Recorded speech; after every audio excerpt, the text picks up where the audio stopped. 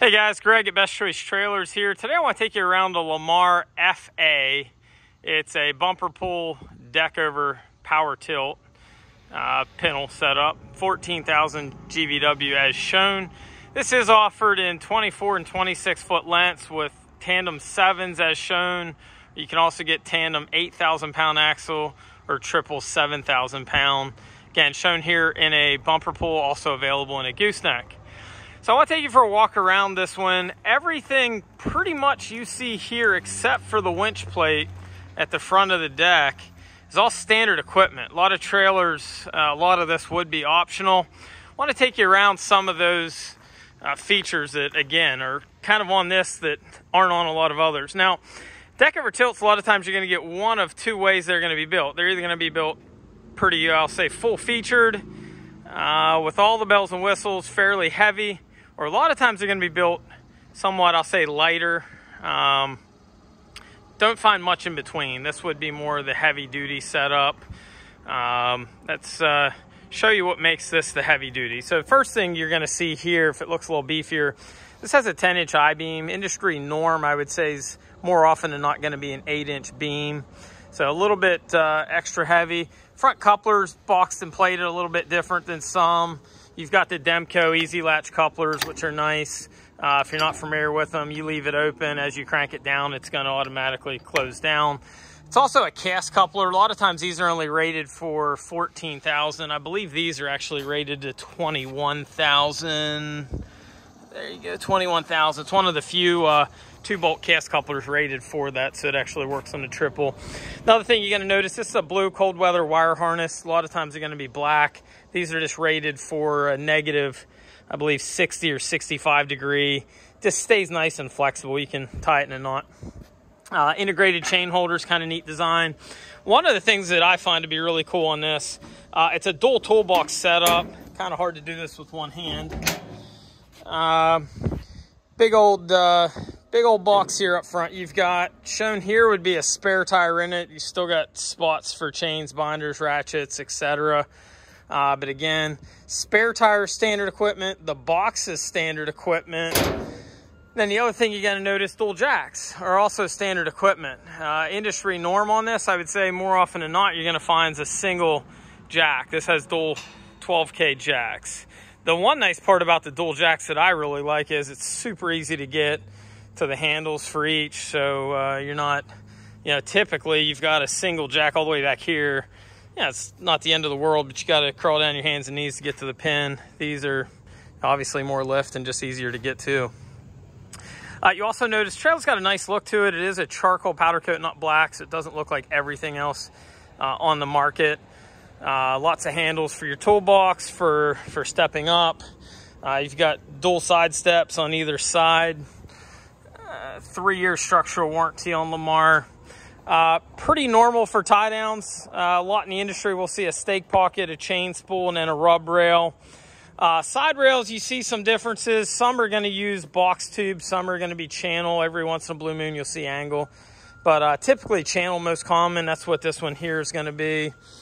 Uh, the winch plate, we do find a lot of folks add a winch to these.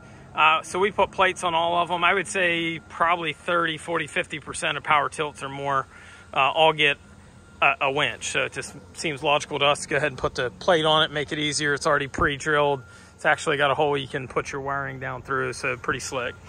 Uh, normal for the industry would be your pressure treated pine decking. Uh, this is two by eights. Drive over fender wells there. So let me show you one thing that's not normal to the industry. This is another I'll say bonus feature to the Lamar would be the side box. So a lot of times you'll get a front A-frame box from most manufacturers, which your hydraulics are in. So you've got the front box and then also a side box. Hydraulics in this, and then you still have a little bit of room left. Uh, 110 volt charger is standard equipment. And then this one is also a little bit different. You get some more bonus features here. Power up, power down, but then you also have a gravity down option on there, which is nice. Uh, I don't have any other manufacturer here that does the, the gravity down as a standard. Uh, one thing that hopefully you won't need, but uh, does come in handy, troubleshooting guide. Typically the most common issue we see with anything with a battery is that the battery needs charged. Uh, that issue normally, if we have a, I'll say a customer service issue with somebody calling in uh, saying something doesn't work, first thing we're going to ask is, have you charged the battery? Is it charged? Because uh, normally that'll make it make it look like there's a, a, different problem, and in reality, it's just the battery charge. But there is a, a troubleshooting guide on the faceplate.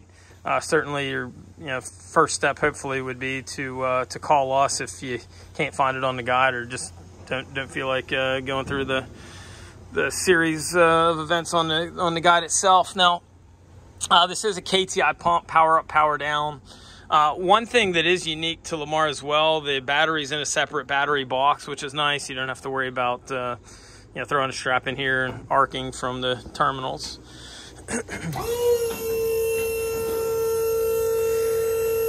So another feature that is different on Lamar, and I'll show you here in a second as this one powers up. So on most power tilts in the industry, you'll find a dual piston to be the most common hoist, hands down. A lot of times you may be able to option in a scissor as an upgrade. Sometimes you can't, depends on the manufacturer. This has a scissor hoist as standard equipment. And once this gets up a little bit farther, There you go. Once you get up all the way, take a look at why we like the scissor.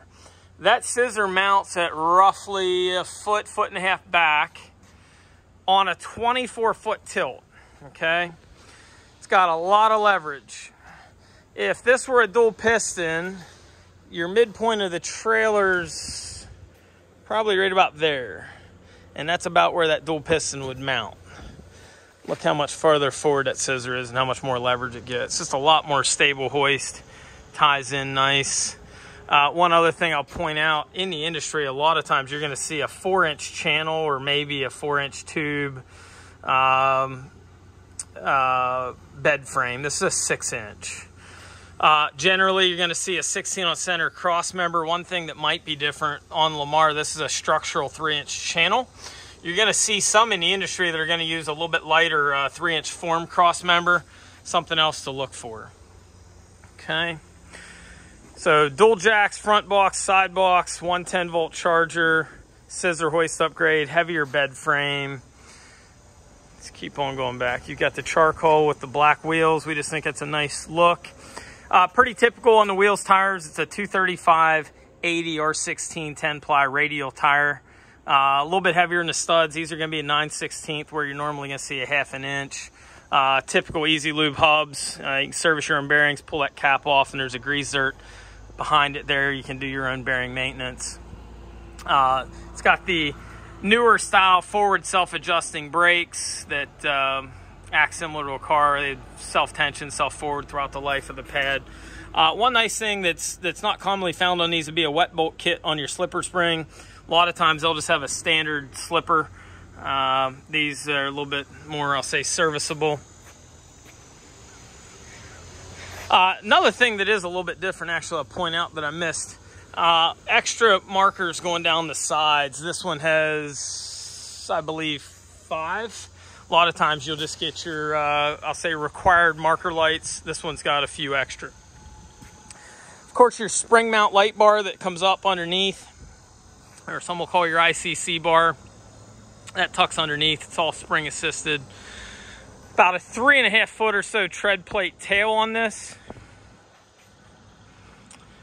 Didn't grab my angle gauge before I came out here today, but this uh, this angle on this is going to be a little over 15 degrees. Industry norm somewhere between 15 to 17.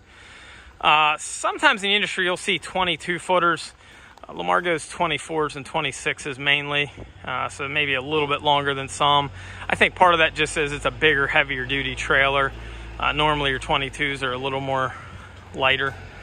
Um, sometimes too in your 22s your axles will get slid um, almost completely to the center point of the trailer. 24 and 26 allow you to have that pivot point just a little bit farther back.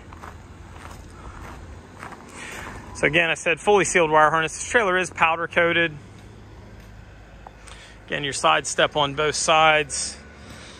Plated out, top, bottom, center. So again, folks, this is a Lamar. It's a it's an FA model, 102 by this is a 24 foot, 14,000 pounder.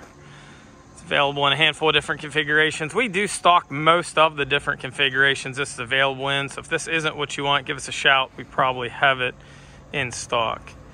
Appreciate you watching. If you get a chance, take a look at our uh, website, www.bestchoicetrailers.com, or feel free to give us a ring at 717 220 4220. Thank you.